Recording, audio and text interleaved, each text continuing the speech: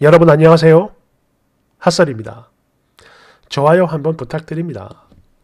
이번 시간에는 정말 멋들어진 커플들 데리고 왔는데요. 이 정도면 정말 어, 과학, 어, 과학이라고 봅니다. 그럼 봅시다.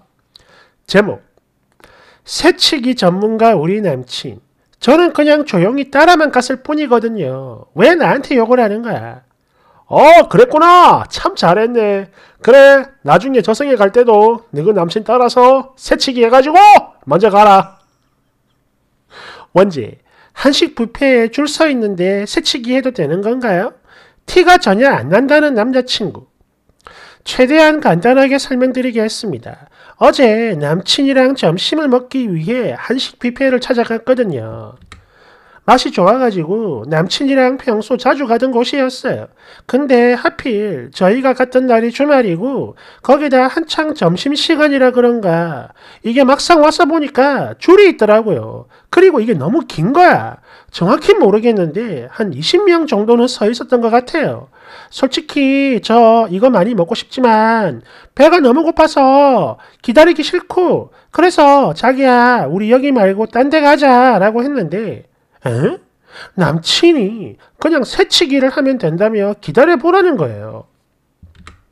당연히 싫다고 했죠. 그거 해봤자 성공도 못할 거고 밥을 먹는 게 아니라 욕만 오지게 처먹을 거 뻔하니까 나는 싫다고 했는데 에이씨 그냥 미친 척하면 되는 거라니까 아무 걱정하지 말라고 이런 소리를 해서 너무 놀라가지고 뭐? 뭘 하겠다고? 라고 했는데 제가 그러거나 말거나 갑자기 식대 앞으로 뚜벅뚜벅 걸어가더니 너무나 뻔뻔하고 자연스럽게 스치기를 시전하더라고요. 그러자 바로 남친 뒤에 있던 사람이 뭐야 이런 말을 했고 당연히 이제 한 소리 하겠구나 했는데 그냥 그게 끝이고 더 이상 그 어떤 반응도 또 말도 안 하는 거예요. 그래서 아니 저게 뭐야? 이러면서 멍 때리고 있는데 이때 남친이 손짓으로 자기야 빨리 와 빨리 와 빨리 빨리 빨리 이렇게 나를 불렀고 얼떨결에 딸려가가지고 그렇게 결국에 밥을 먹긴 먹었거든요. 그랬는데 아무리 생각해도 기분이 좀 이상해서요. 저희가 제일 앞에 섰을 때 저희 뒤에 있던 사람들 전부 다 그냥 뭐야 이러면서 그냥 끝이고 살짝 쳐다만 보고 말더라고요.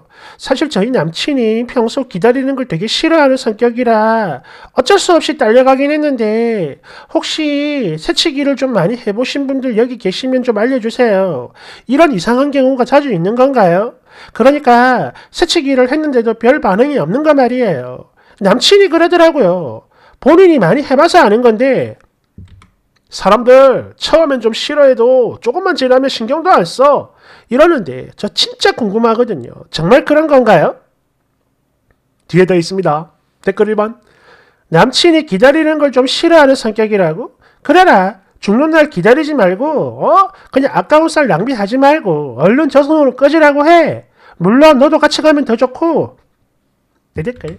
그러게 기다리기 싫어하는 성격이니까 어서 빨리 뒤져야죠. 끌끌끌끌끌. 2번. 저승에 가면서 쓰니 꿈에 나타나 손짓하면 개꿀잼? 2번. 네 남친이 먼저 새치기를 했고 너는 그냥 조용히 따라만 갔다. 이거네? 뭔데? 따라만 간 거면 뭐 죄가 없어진다는 거야 뭐야. 새치기를 했으면 그냥 둘 다 똑같은 년놈들이야. 설마 너는 따라간 거니까 아무 잘못이 없다 여겨서 여기다 글 쓴 거냐 지금? 어? 밥 먹었다며. 3번. 같은 한국 사람이라는 게 너무나 쪽팔리고 부끄럽네. 아니 도대체 나이가 몇 살이길래 이런 기본조차도 몰라가지고 이게 맞는지 틀린지 물어보고 자빠진 건가? 어? 끼리끼리 만난다고 너도 그렇고 네 남친도 그렇고 다를 게 뭐냐? 끼리끼리 4번 사람들이 왜 아무 말 안 하냐고? 아니 그거 당연한 거 아니야? 너는 어디 더러운 똥이랑 대화하는 사람 본 적 있어? 그냥 더러워서 말을 안 하는 거야. 속으로만 욕하는 거지. 이야, 이거는 본인들뿐만 아니라 부모까지 욕 처먹이는 상황인데 이걸 몰라서 묻는 꼬라지 보니까 그래 네 머리통도 알만하네. 여하튼 네 남친 조만간 거하게 처맞는 날 온다. 두고 봐라. 5번. 그래서 뭐야? 새치기를 하면 안 된다는 걸 몰라서 글을 쓰는 거야? 아니면 뭐 밥 빨리 처먹었다고 자랑이라도 하겠다는 거야? 뭐야? 6번. 야, 나 같으면 5만 장이 다 떨어져서 헤어질 것 같은데 그걸 또 처먹겠다고 앞으로 걸어갔더니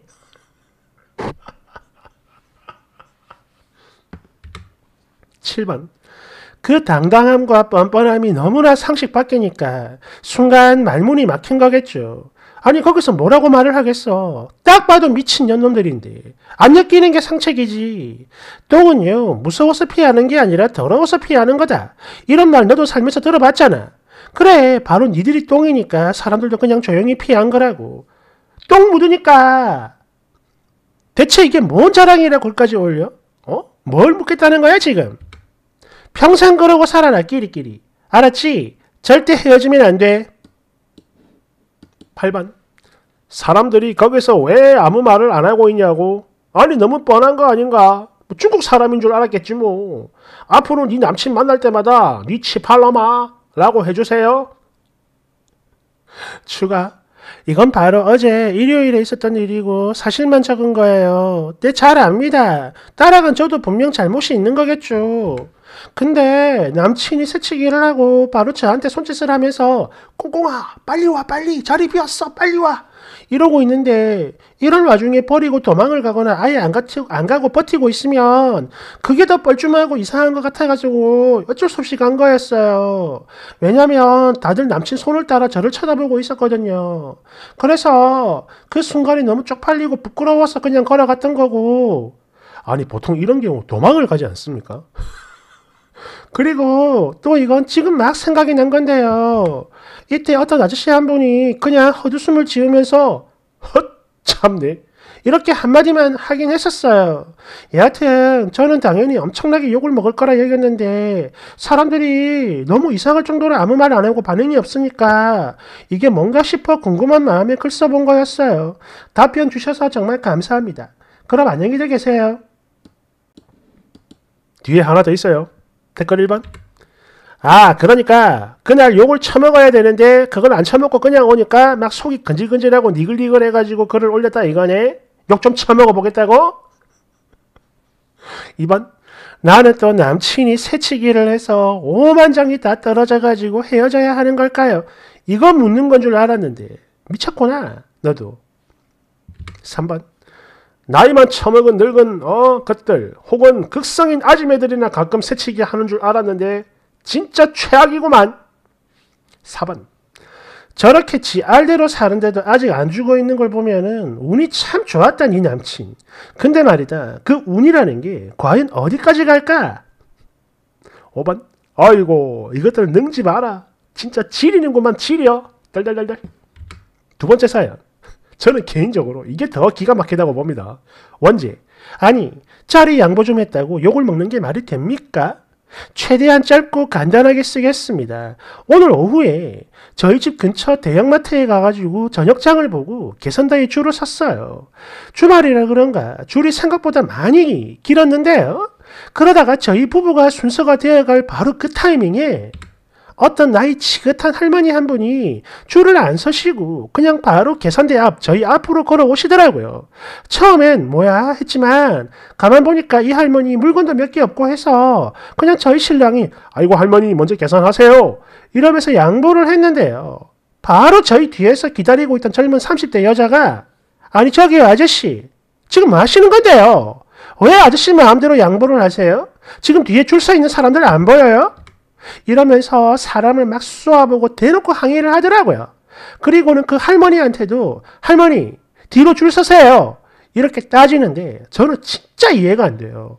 아니 본인도 부모가 있을 텐데 아니 그 부모보다 훨씬 연세 지긋한 어르신한테 저러고 싶을까요?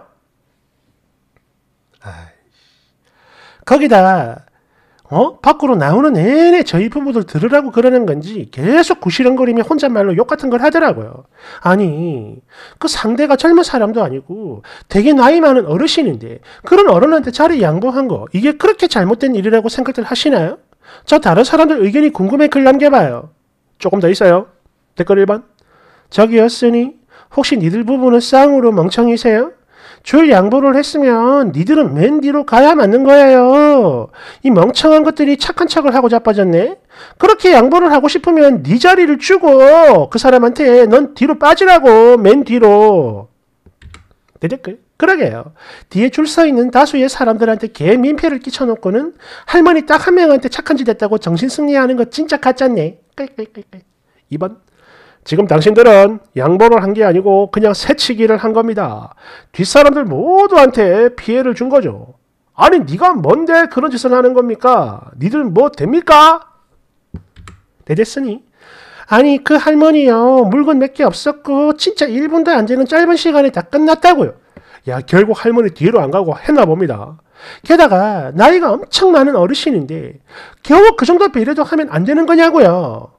이번 야 이 멍청아 그 상황에서 배려를 하는 건 너 혼자 있고 네 뒤에 아무나 없을 때 그때 해야 양보고 배려인 거야. 지 뒤에 서 있던 사람 시간 다 뺏어놓고 배려 일할지. 되겠으니 다시 한 번 더 말씀드리지만 상대는 연세 지극한 할머니였다고요. 그러니까 젊은 사람이었으면 저도 그렇게 안 했을 거라고요. 저희 남편도. 말 그대로 머리가 새하얀 백발 노인인데 그런 노인을 위해서 단 1분 정도도 배려를 못합니까? 이게 지금 우리나라 요즘 정서인가요? 동방 예의지고 요즘 사람들은 또 여기 있는 사람들은 한 번도 못 들어본 말입니다. 그죠? 3번 그래서 쓴이는 그때 뒷사람들한테 양해를 구했습니까? 안 구했죠. 그냥 네 꼴리는 대로 마음대로 한 거잖아요. 그렇잖아. 그러니까 지금 이게 네가 말하는 그 예의입니까? 웃기고 자빠졌네. 3번. 이런 사람들 많이 있죠. 지가 착한 일을 했다 착각하면서 속으로 엄청 뿌듯해하는 것들. 예를 들어 남한테 피해주는 정신나간 캣맘들 말이야. 다른 사람들 피해보는 건 아예 안중에도 없지. 정양보를 하고 싶으면 지가 맨 뒤로 가야 맞는 건데 그 정도 능지도 없다는 게 학계의 정설입니다. 몰라요. 4번. 뭐 앞줄에 서 있으면 대단한 권력이라도 생기는 건가? 새치기를 했고 욕을 처먹었으면 부끄러운 줄 알아야지. 지금 이게 뭔 짓거리요? 야 진짜 안 쪽팔리나? 그러니까 이런 글을 쓴 거겠지? 헐. 멍청한데 도덕적 우월감은 느끼고 싶고 부부가 쌍으로 노답이다. 야, 결혼 참 잘했네. 야. 아니, 이게 당연한 거거든요. 저도 옛날에 이마트에서 이런 경우가 한 번 있었습니다. 제가 계산하려고 할 때 어떤 아저씨 한 명이 저한테 와가지고 자기가 지금 너무 급한 일이 있어서 그런다면서 한 번만 양보를 해줄 수 없겠느냐 막 거의 빌더라고요. 그럼 뭐 그래 하세요 하세요 하고 저는 제일 뒤로 갔거든요 제 뒤에 한 4명인가 있었을 겁니다 근데 이게 당연한 거잖아 양보를 할 거면 지가 빠져야지. 자기 자리를 주는 게 양보지. 뒤로 자 뒤로 한 발씩 뒤로 한 발씩. 이건 양보 아니거든요. 미친 거지. 아니 아니. 그 전에 내가 지금 이런 걸 설명하고 있다는 게 이해가 안 돼요. 아니. 와. 아니, 야.